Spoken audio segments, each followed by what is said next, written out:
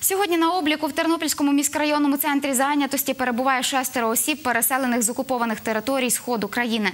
Про те, яким чином у Тернополі та області вирішують проблему працевлаштування переселенців у сюжеті Любові Гадомської.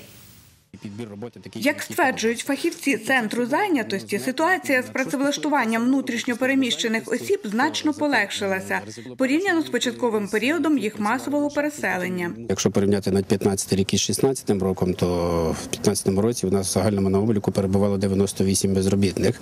Значить, а цього року значить, залишилось тільки 30 безробітних. Це протягом року, вже протягом півроку. Аби допомогти людям знайти роботу та допомогти матеріально, окрім служби зайнятості, до справи долучилися органи місцевого самоврядування, громадські організації та благодійні фонди.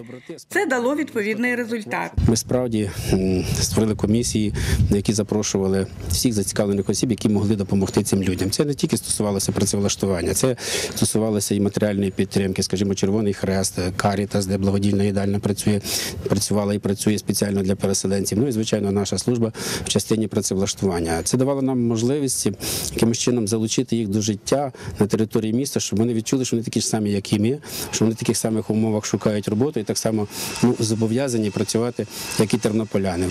За 15 рік у нас рівень працевлаштування такої категорії людей, які переселилися серед безробітних, складав 36%. Це на десяток вище ніж ну, середньостатистичних наших безробітних тернополян. Ну, сьогодні, як я сказав, 6 чоловік на обліку. Це люди середнього віку, це люди, які в основному мають вищу освіту. Значить, якщо навіть і за тією професією, яку вони мають, не знайдеться робота, то для них завжди є робота е, робіт заробітничими професіями. Таких вакансій в нас достатньо. В нас практично вакансій більше ніж безробітних заробітничими професіями. Тому я не бачу якихось таких проблем, щоб ті люди сказали, що ми не маємо заслужити в Тернопіль.